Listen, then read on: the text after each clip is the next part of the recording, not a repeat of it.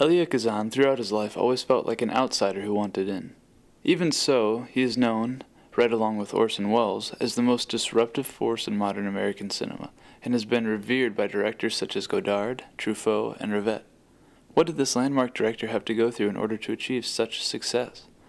First of all, Elia Kazan had to fight through a rough childhood. Born an Anatolian Greek in 1909 in a suburb of Istanbul, he grew up battling life-threatening racial persecution.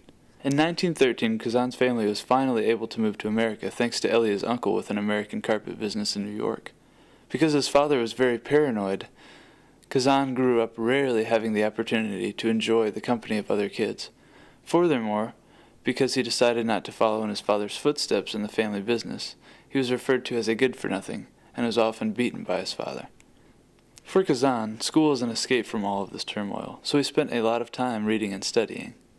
When he graduated from high school, he went off to Williams College in 1926 and majored in English. After discovering the work of Sergei Eisenstein, he decided to go to Yale Drama School and study acting, directing, set design, and costuming all of which would play a large role in his future as a filmmaker. After leaving Yale a year premature, he moved to New York City and joined the group theater, which was made up of many leftist and radical actors and directors. There he learned the method style of acting, which he would later introduce to film. The group theater also had a film branch known as Nykino, where Kazan was able to co-direct his first picture, People of Cumberland. Though he continued to act for the theater at this time for several years, Kazan eventually decided to give up that area of life and solely pursue directing. A few years later, after directing some minor plays, Kazan directed Cafe Crown, which was unexpectedly very successful. Because of this great success, he was offered to direct The Skin of Our Teeth, which won many awards and much critical acclaim, causing Hollywood producers to go after him. In 1944, he signed a contract with Fox to direct five films in five years, he then went on to release A Tree Grows in Brooklyn, Sea of Grass, Boomerang, Gentleman's Agreement, and Pinky. During this time in 1947, Kazan directed the theater play known as A Streetcar Named Desire. Because of the huge success of this play, Warner Brothers pushed him to direct a film version, which, when it was released in 1951, was also highly successful.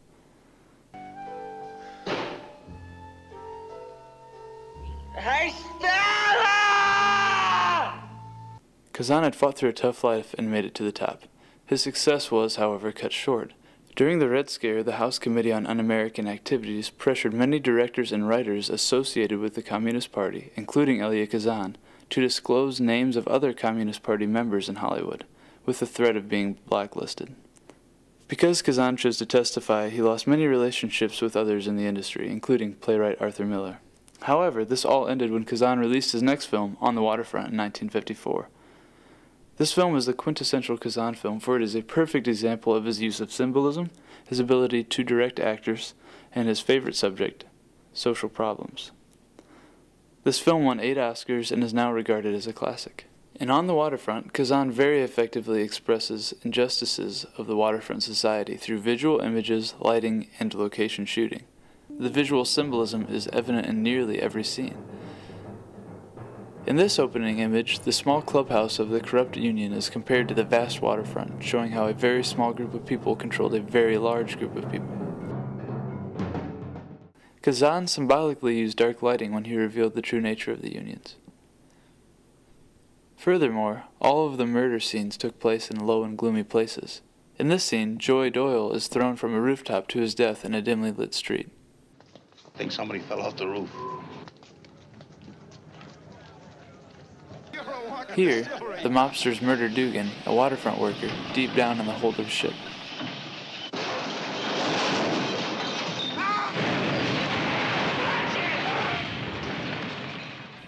In this scene, near the end of the film, the main character, Terry Malloy, is nearly killed right down by the water's edge.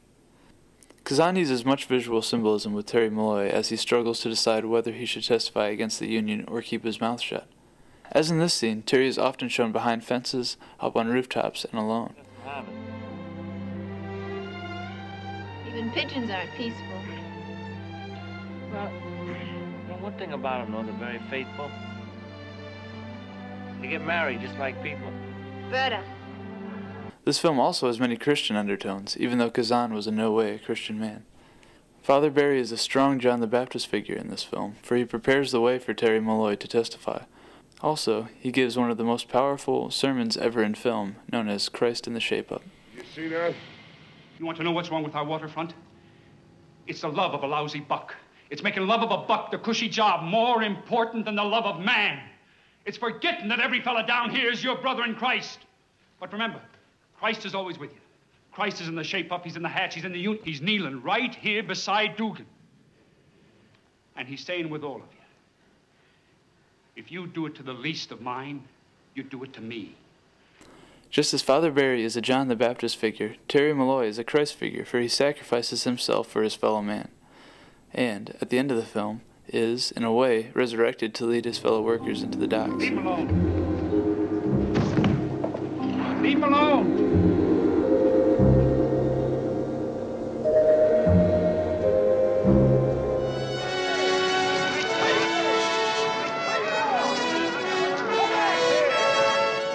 Terry and his brother can also be seen as representations of Cain and Abel. In this famous taxi scene, Terry exposes how his brother Charlie betrayed him. For him. the short end money. Well, I had some bets down for you. You saw some money. You don't understand. I could have had class. I could have been a contender. I could have been somebody. Instead of a bum, which is what I am. Let's face it.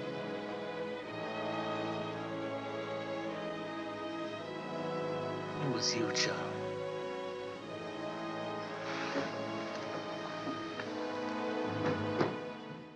On the Waterfront is so full of visual symbolism and social significance that it is no wonder that this film won so many awards and put Elia Kazan back on top as a director. After this film, Kazan went on to direct many other good films, including A Face in the Crowd, Splendor in the Grass, The Visitors, and The Last Tycoon. At the end of his life, Kazan was pleased with what he had done. He had overcome failures, hardships, and struggles, and he had greatly impacted his world. One of his greatest innovations was the introduction of the Stanislavski method of acting to American film. The Stanislavski method originated with the Moscow Art Theater and taught actors to, in essence, become their characters by thinking their thoughts, keeping an interior monologue, and having all actions and thoughts be justified by the character and by the script. Because Kazan learned this from the group theater, he was able to apply it to his films. His best student was Marlon Brando. Brando was able to get so deep into a character that he brought them to life, as he did in A Streetcar Named Desire, On the Waterfront, and, under the direction of Francis Ford Coppola, The Godfather and Apocalypse Now. Horror. Horror has a face. And you must make a friend of horror. Horror and moral terror are your friends. If they are not, then they are enemies to be feared. They are truly enemies. Kazan also had a big impact on leftist filmmaking. Most of his films and plays dealt with the corruption of powerful people or groups of people, the power of the individual, and racism. Even when the socialists disowned Kazan, he still stood strong for what he believed in. By the end of his filmmaking career, Kazan was truly a loner in the world of film and an outsider looking in upon America, with a purpose similar to that of John the Baptist of the New Testament. On the one hand, he suffered because he did not have any support from either Hollywood or anti Hollywood socialists. On the other hand, he had nobody to please, and he was afraid of no one. He made films that did not belong to any certain genre, and he was associated with no special organization or group of people. Because of this, he was able to expose through his films, without fear, some of America's worst qualities, such as racism, the abuse of power, the corruption of leaders, the generation gap, and the misconception of love and devotion. Elia Kazan, with his extensive career in theater and film, was truly an innovator. He helped to drastically change the way actors go about portraying characters. He also proved to be a nearly perfect example of how a person is capable of standing strong in a world full of all kinds of pressures and opposing opinions. However, these are just the largest of his many innovations. Kazan also developed the use of on location shooting, helped reduce the use of stereotypes, increase the use of literate scripts, and improve the way that directors block out scenes and rehearse them with their actors. It is fascinating that one man brought about so many changes in film techniques and aesthetics, one man who, interestingly enough, throughout his life stressed the power that one person can have to bring about change. Where would film be today without such an inventive and groundbreaking director?